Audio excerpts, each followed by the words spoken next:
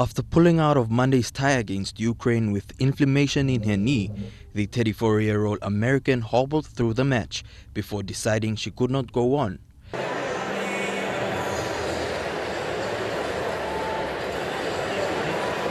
Playing for Australia, Wolfe took the first set as 21-time Grand Slam singles champion Williams struggled to move to her left.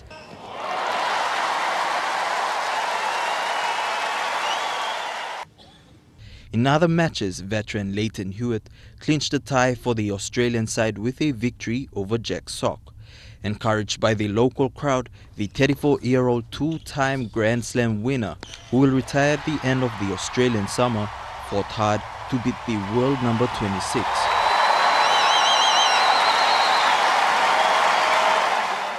Hewitt then partnered Wolfe to seal a 3-0 win for Australia by winning the mixed doubles against Sock and Williams' replacement Vicky Duval. Elijah Lavette, National MTV Sports.